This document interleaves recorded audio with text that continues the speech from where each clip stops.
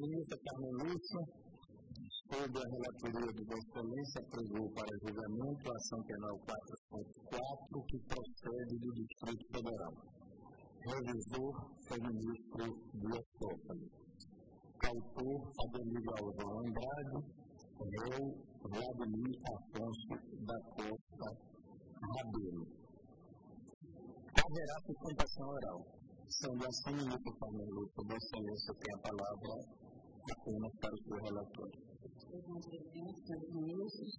Pela decisão de 2390, transitada e julgada em 7 de 2 de 2007, o Supremo Tribunal recebeu a queixa autonomia oferecida por Adenir Galvão Andrade contra o deputado federal Vladimir Afonso da Costa Rabelo nos termos seguintes que foi crime realizada por esse senador da República contra o deputado federal, por infração aos artigos 20, 21 e 22 da Lei de Imprensa, que podiam ser praticados por meio de declarações feitas em programa de televisão apresentado pelo federado, delegação de imunidade parlamentar, artigo 53 da Constituição da República, em procedência, preliminares de deficiência na procuração e decorrência da decadência do direito de ação, afastamento, substituição do Estado da conduta psíquica descrita no inicial acusatória, foi crime parcialmente recebida eu deleguei a um dos membros da Associação Judiciária do Distrito Federal o exercício da atribuição de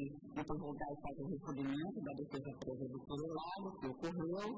A defesa presa foi apresentada, foram arroladas seis testemunhas que residência em Belém, pedida carta de ordem para a expulsão das testemunhas houve a informação que uma delas foi ouvida, eu terminei em 2008, 9 de 12 de 2008, a suspensão da apresentação penal do prazo profissional dos crimes imputados ao querelado, até o final, até o julgamento definitivo da arguição de cumprimento do preceito fundamental 130, exatamente nos termos que foi determinado pela lei de imprensa. Então, nós temos determinado exatamente isso houve contra essa decisão de sobressamento o agravo para referir o devido procedimento, mas era contra ato do plenário.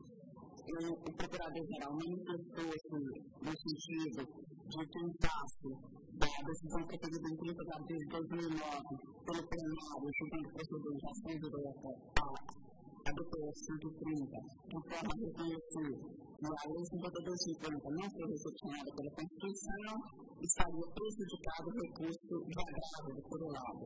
É dispôs no Ministério pela constitucionalidade do agravo e pelo procedimento do feito.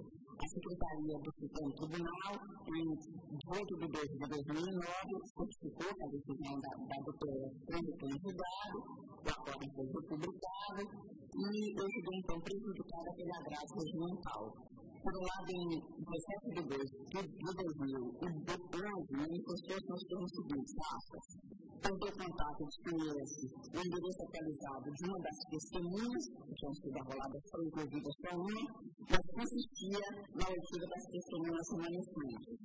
Eu pedi, no sentido de que não tem alvo passivo, a rolada não foi encontrada no endereço fornecido, assim, os termos do artigo 408, inciso 3 do Código do Processo Civil aplicável à espécie por analogia, nos termos do artigo 3 do Código do Processo Penal, define a substituição requerida. Que foi servida a testemunha Walter da Rocha Gonçalves.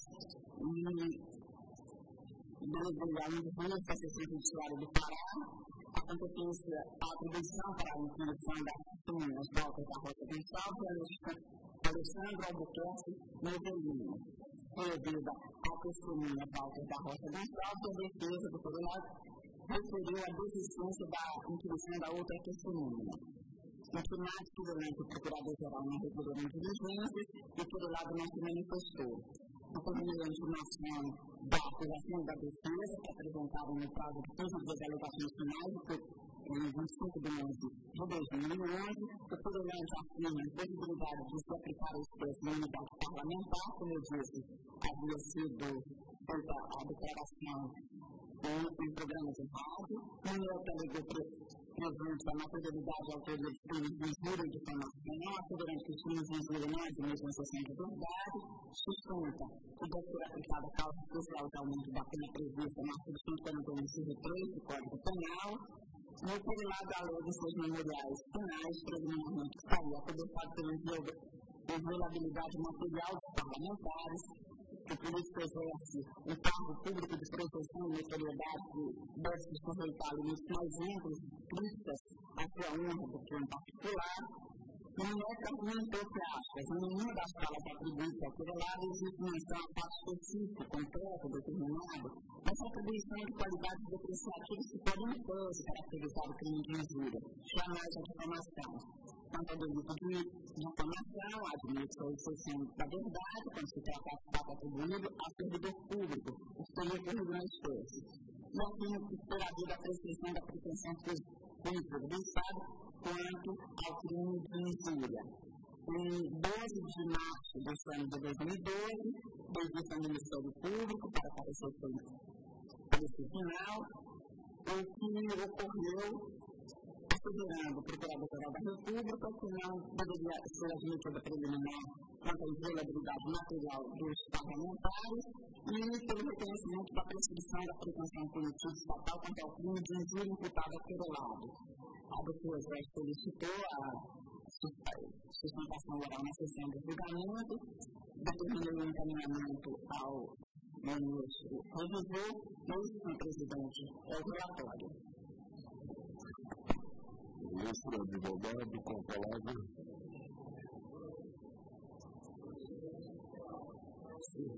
Ah, perdão, perdão é que nós não estamos muito acostumados né, com a figura do revisor entre pés e a centenal com a Com a palavra da o relatório preferido pelo ministro relator e que teremos uma sustentação breve. Com a palavra do ministro Justiça, senhor ministro, presidente da Constituição, ministro da Fórmula, do Saúde, a admiração do Espírito Santo, ajudou na preocupação, saúde também de maneira muito respeitosa, os demais honrados ministros da FES, ministros da Igreja, e todos os demais ministros, integram nossa igreja, supernaturais. Os meus filhos, e evidente, Procurador-Geral da República, doutor Roberto Alexandre. livres em legislatura, estamos sob o deputado Vladimir Costa, acusado de extensão, e ele está ocupando o terceiro mandato do deputado federal. Ele cai do carro. Uma dessas três eleições, que nós podemos apresentar para vocês, Desses três mandatos, ele foi o mais votado no estado do Pará, o menino do ministro da Educação. Foi o mais votado de todos os deputados federais.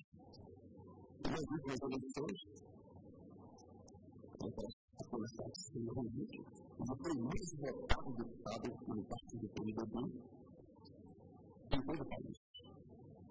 Passa para muito de votos. A princípio, foi o nome da imprensa, a Boalista, jornalista livre, documento, que se dedicou às atividades de rádio, fez a rádio um pouco a voz daquele povo profundo, daquele povo humilde, daquele homem do povo, no início dos condições do Estado do Pará. E depois ele, já também na parlamentar, continuou ainda com aquela voz do jornalista, né? Que quando começou a fazer. E participou do programa televisivo chamado Comando Geral, era um programa policial, famoso já, emitido aí por televisões brasileiras. E foi exatamente no Comando Geral que ocorreu esse fato. Foi lá em abril de 2006, no ministro, houve uma operação chamada Operação Galileia, que chamou a atenção de quase 20 ou 22 pessoas que integravam a companhia das bocas do Estado. Companhia das bocas do Estado. Da qual o presidente, o senhor Adriano Garcia, não é senador da República, ele é senador da República. Mais de oito mandatos parlamentares. E por qual ele estava cumprindo a presidência da Companhia das Bocas do Estado. Então, saíram ordenados numa certa festa, muito triste, esse professor do Brasil todo conhecia isso. Eles saíram ordenados e depois assessores, secretários, acusados de fraude de licitações, fraude de licitações, acusados de regime de dinheiro mais de 10, quase 10 músicos e secretários de contas da Companhia das Contas de Paga. Os jornais evidentes puderam trabalhar-se, deram coisas afetivas, jornais locais, jornais nacionais. As notícias formularam mídia, internet. É evidente que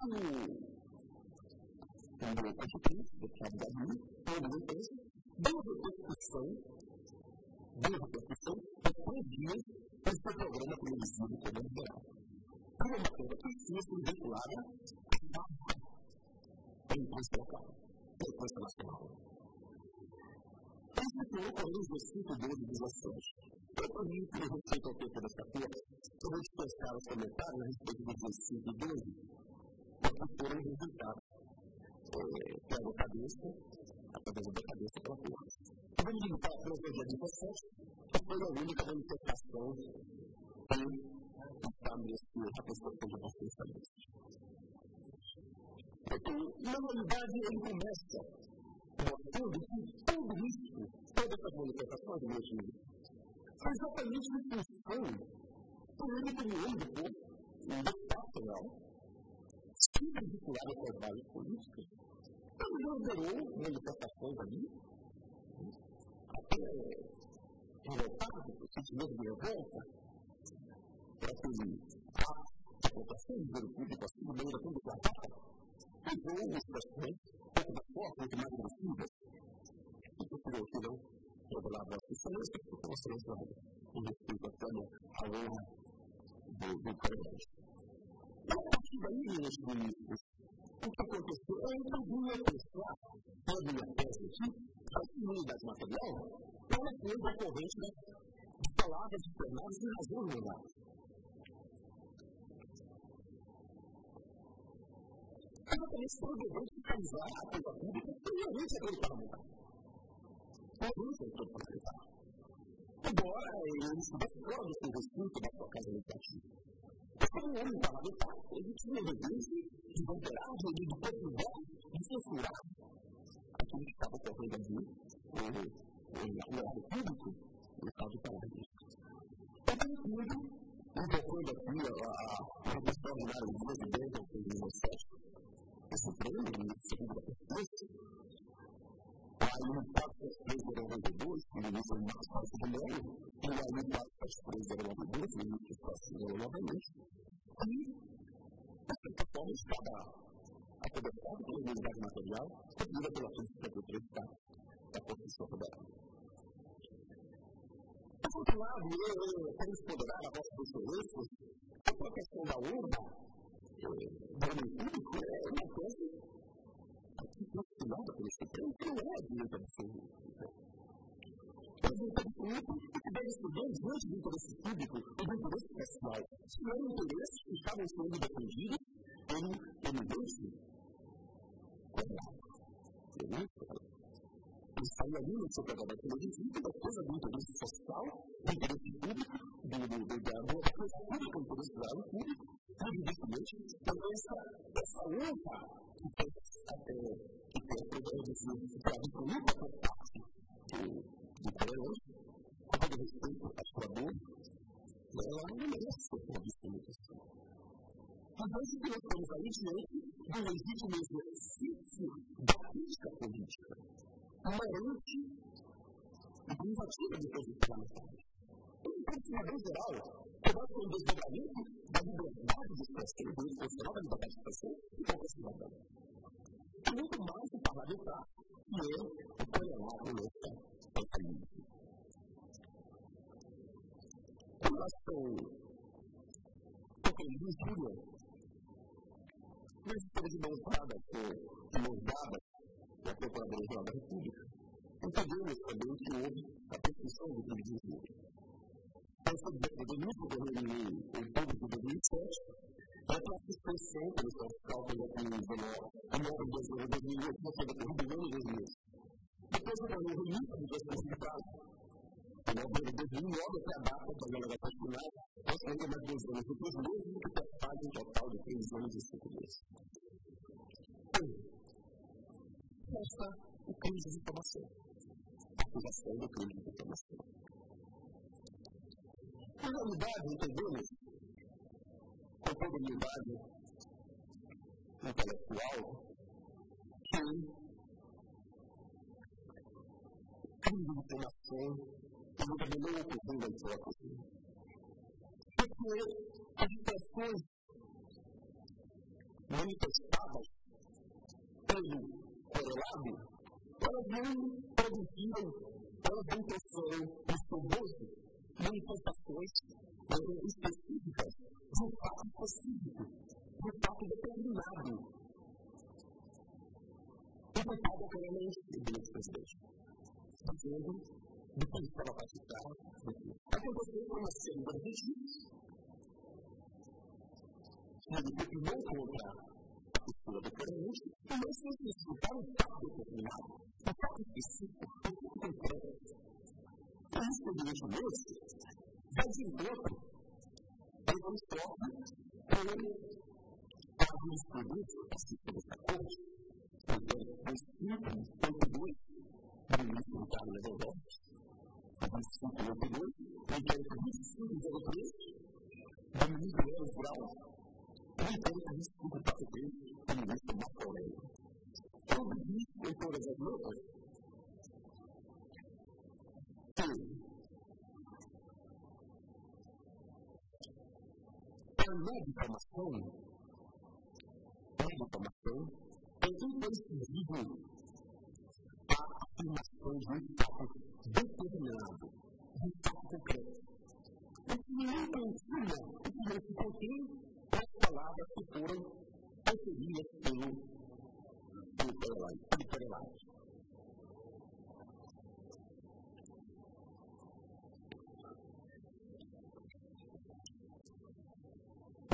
Corelado. Enquanto isso, o doutor ministro Ricardo eu gosto de uma coisa aqui. O tipo de informação exige importação de fato específico.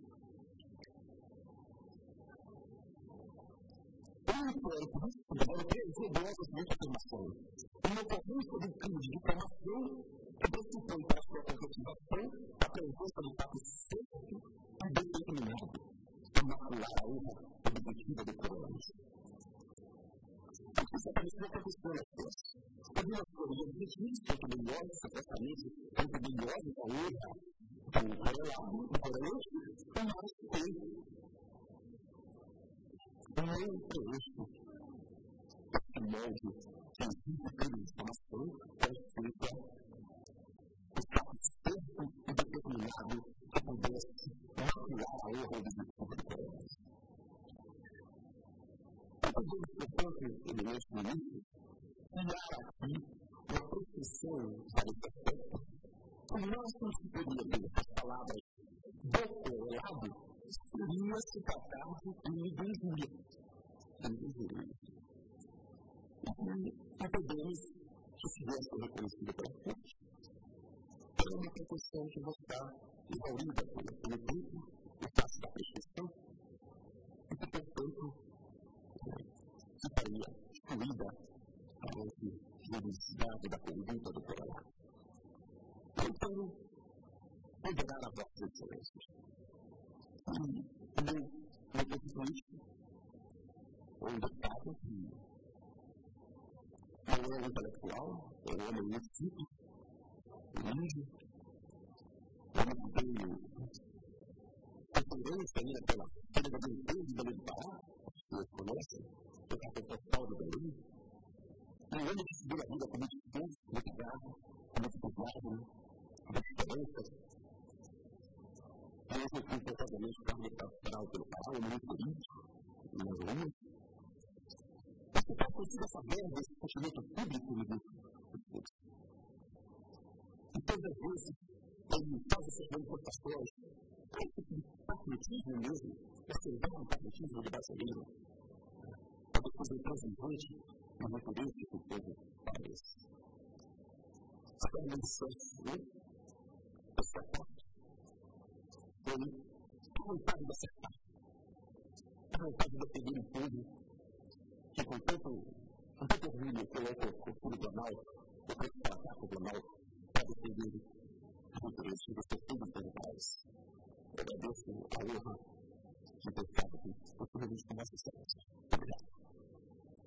Obrigado, Vossa Excelência. Posso retornar a palavra à Sua Excelência, Ministra Carmen Lúcia, relatora desta ação penal. Senhor presidente, senhores ministros, eu agradeço ao doutor Zânia e faço um registro inicial do julgamento em 30 de abril de 2009 por este Supremo Tribunal da procedência da arguição do cumprimento de preceito fundamental número 130, que foi relator Vossa Excelência, senhor presidente, que tratava da não repetição da Constituição de 1988 dos dispositivos da Lei 5250, que eram inicialmente aquelas que tinham sido indicadas na ficha. E ao final, no, no inciso 11 do acordo, se estabeleceu que aplicam-se as normas da legislação comum, notadamente o Código Civil, o Código Penal, o Código de Processo Civil e o Código de Processo Penal, às causas decorrentes das relações de imprensa. E faço serviço apenas para afirmar que, apesar de ter sido a queixa-crime ajuizada com acusação que foi querelado teria ofendido os artigos 20, 21 e 22 da Lei 5250 de 67, o apesado do destaca a ele imputado, emenda a calculação apresentada, pelo que, a meu ver, não existe prejuízo para análise do processo quando a suspensão da conduta aos tipos penais previstos no Código Penal, porque essa lei proíbe a prática de fatos que foram imputados a querelado quanto aos crimes de injúria e difamação foram arguidas duas preliminares, senhor presidente e senhores ministros. A primeira relativa à imunidade parlamentar, mas essa primeira foi cuidada quando do recebimento da denúncia e foi decidido pela rejeição. Então eu não vou, eu, eu transcrevi, mas acho que não é o caso de retornar a ela, porque nós não reexaminamos matéria já vencida. E a segunda preliminar diz respeito ao legítimo exercício da crítica política alega que ele é o coroado, que aspas, os ataques à honra de um político não podem ser tratados da mesma maneira que os ataques à honra de um cidadão comum. Nestes casos, mais que liberdade de expressão, exerce-se liberdade de crítica política inerente necessária a qualquer regime democrático, fecho aspas. Porém, quando as as ofensas preferidas nos orbitam os limites da crítica política com publicações contra a honra, na imprensa, por exemplo, pode ocorrer sim abuso do direito à manifestação de pensamento passível de exame pelo Poder Judiciário nas esferas civil e penal, nos termos do artigo 5 inciso 10 da Constituição, são diversas as pessoas que ocupam cargos públicos, notadamente aquelas que exercem atividades políticas, estão sujeitas, a meu ver, a uma maior fiscalização pela população e pelos meios de comunicação, pelo que seu âmbito de intimidade e a vida privada acabam tendo espaço reduzido, devendo a norma constitucional ser aplicada com maior tolerância quando forem atingidas. Isso não significa, meu ver, faço apenas aqui o registro de que está permitida qualquer ofensa de qualquer natureza pela circunstância de haver pessoas que ocupam cargos públicos. As ofensas desproporcionais, desarrazoadas, ocorram, podem e devem ser reprimidas na forma de que sim, especificando nesse sentido, é, a, envolvimento de três relatado pelo ministro da Pertence, e por isso eu estou rejeitando a preliminar nesse ponto. Se referia que não haveria nenhum crime porque se tratavam de políticos, e quanto a políticos não haveria crime de injúria e difamação. Estou rejeitando que tenha jurisprudência, não. A tolerância é muito maior quanto a qualquer um de nós, mas isso significa que há uma impunidade total na sociedade, uma unidade absoluta ao primeiro com a pessoa que se ocupa um cargo público. Estou ocupando a passando também dessa preliminar. Excelência procede. Na mérito, eu estou afirmando, inicialmente, uma discussão a partir dos fatos que foram delineados e postos julgamento. Na decisão do recebimento parcial da ficha crime ocorrida pelo plenário, ficou assentado que a acusação não seria recebida quanto aos fatos ocorridos em 5 e 12 de, de, de maio de 2006, porque já teria havido decadência naquela ocasião. Então, houve três fatos em três datas. 5 de maio, 12 de maio e 17 de maio. Nós só estamos a cuidar do, dia 17. E foi incluído também o crime de calúnia.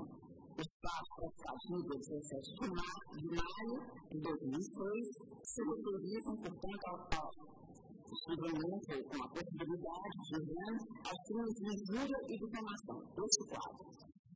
Eu estou citando exatamente meu voto foi acompanhado pelo plenário nesse sentido.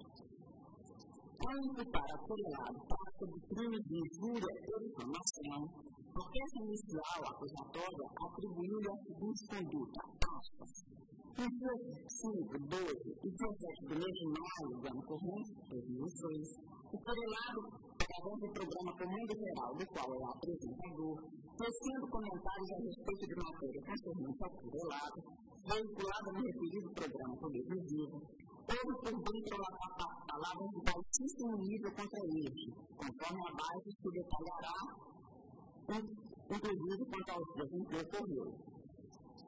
Não se contentando, talvez, com tais expressões contra a milhões do Furulente e foi elevado no programa veiculado no dia 17 de maio, aos exatos 3 minutos do DVD 2 na NET, imputando falsamente falso definido como crime contra a pessoa do Furulente, afirmou não é que a, a me ameaçou dentro de uma recomendação e na mesma sequência delituosa sentenciou o apresentador que ora querelado, escolhendo o relato citando, como disse, na peça inicial. Pasta secundária chefe de quadrilha ameaça deputado federal dentro da agenda da França, catástrofe secundária, do pesquisa.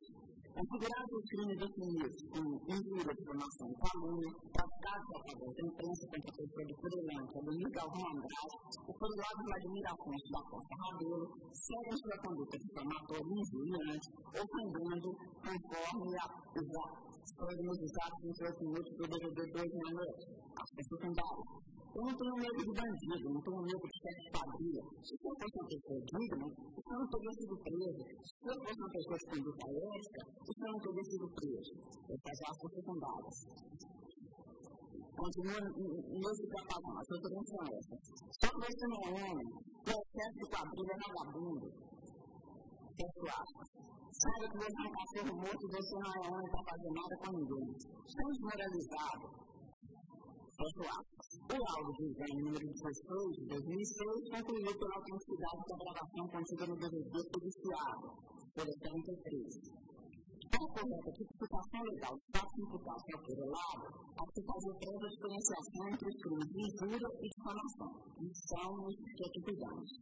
A difamação, semelhante em causa que ocorre no caso de calúnia, consiste em imputar a alguém fato determinado concreto ofensivo à sua reputação, portanto, é necessário que se identifique precisamente o fato desonroso atribuído. Neste sentido, são as lições, por exemplo, de Luiz Caso Regis, aspas, a exemplo da calúnia, também a difamação, o fato imputado deve ser determinado, descrição detalhada. Não é preciso, não é preciso que o agente narre todos os pormenores, a imputação seja clara o suficiente para que individualize o fato desonroso. É todo acontecimento concreto, o fato desonroso, preceito presente, desde que não se apenas no plano do imaginário ou provável. Os fatos genericamente denunciados, de realização provada, julgamentos sobre qualidades atribuídas à vítima, não configuram difamação, mas injúria.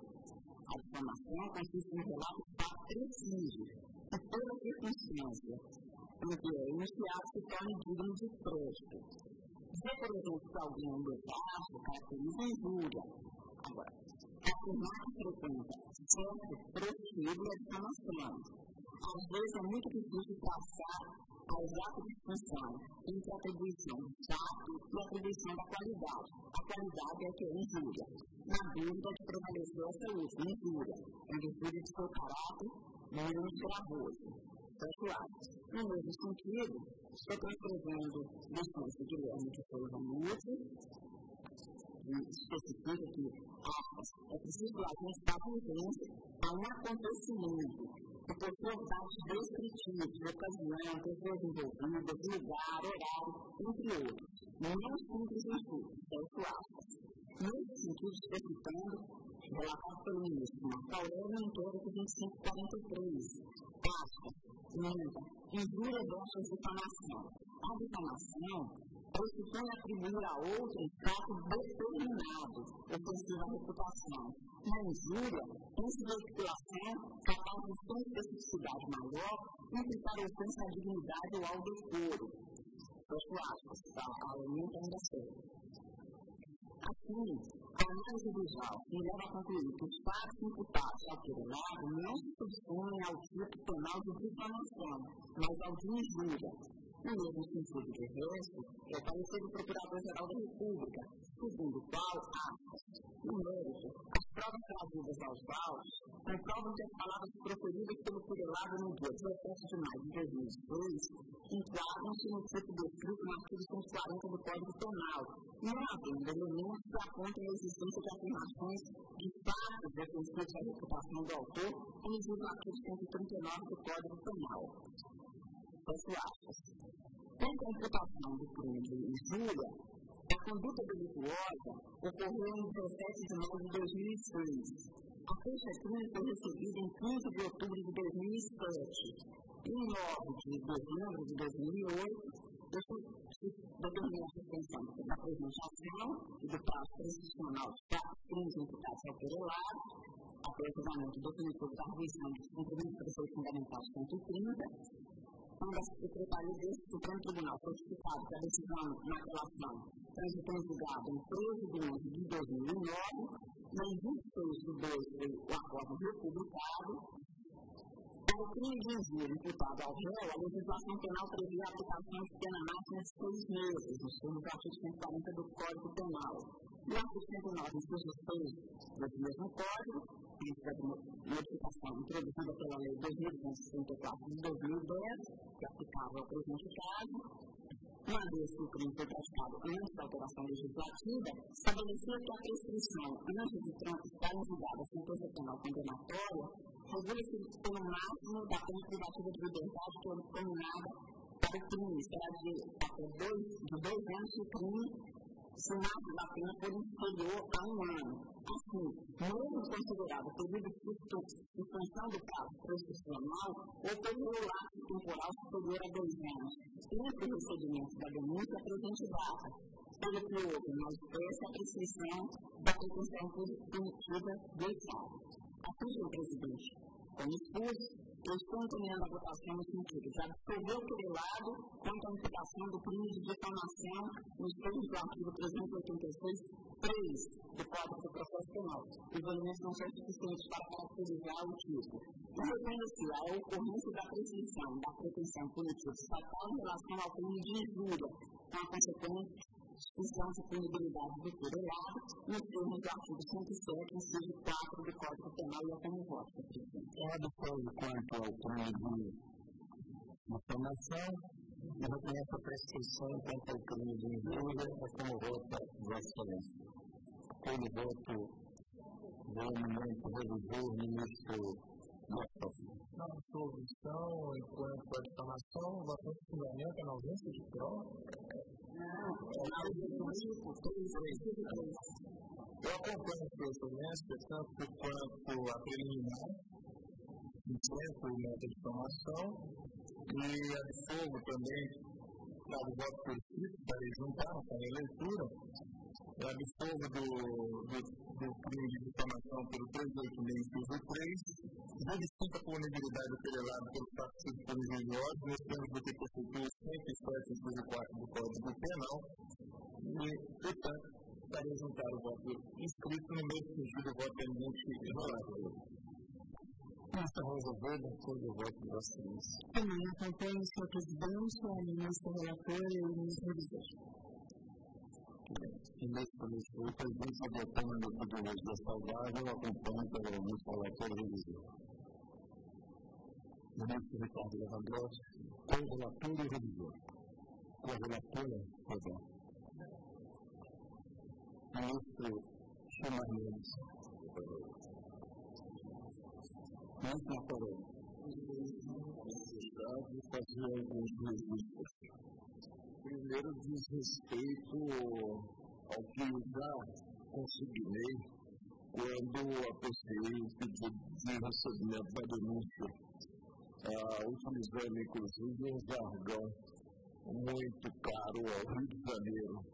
O, por um lado, pegou pesado, né?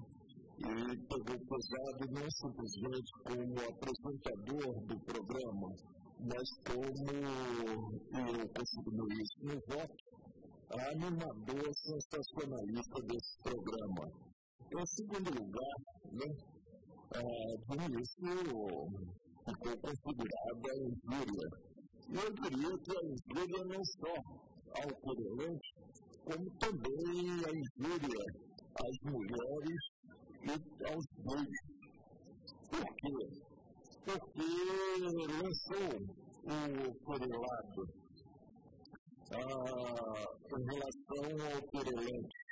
Isso seria ele um cachorro morto, expressões do dia 17. Vagabundo, bandido, nem para ser mulher você serve. Como se fosse algo, não consigo tivesse aquele, não, o gênero, não, aquele do gênero masculino, não conceito de gênero nem para sorver você serve, para conseguir o Quer dizer, um preconceito incrível aqui e se mostra até inadmissível, considerada a postura que espera do homem público, de um parlamentar. Ah, mas ah, o tempo é miserável.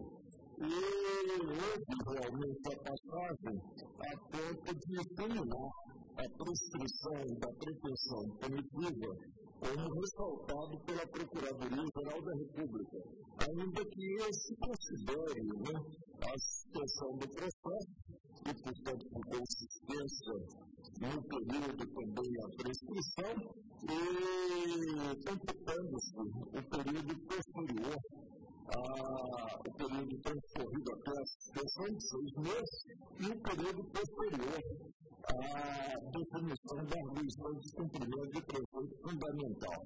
Ante esse quadro presente a prescrição da proteção punitiva, acompanha o relator, a relatora e o revisor. Os conselheiros fatores preliminares, ministro Fernandes, ele absolveu o, correlado quanto ao crime de difamação. Reconheceu a ocorrência da prescrição punitiva do Estado quanto à situação indeterminada. Eu vou acompanhar a excelência quanto à, prescrição e posteriormente para é, condenar o correlado pelo crime de difamação. Com a proclamação do resultado apenas esse voto naturalmente discordante, pontualmente discordante quanto à absolvição. Mais decisão unânime. Excelência ou entendemos? laboratório de difamação, eu, também concluo, ah, você não está trabalhando na difamação, você não entendeu aí um fato determinado, né? Mas é, eu estou em à de ver as sérios. Agora eu vou a profissão das transgressão do